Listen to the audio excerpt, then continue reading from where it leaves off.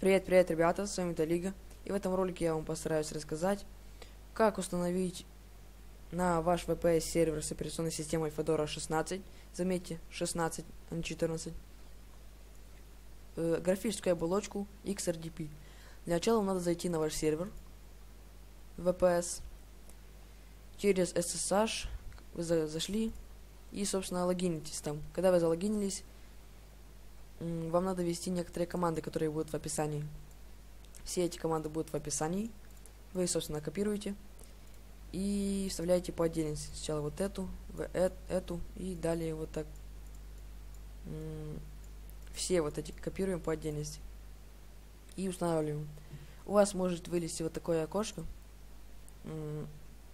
Оно нам говорит о том, соглашаемся ли мы с установкой или нет. Y это да, а N это нет.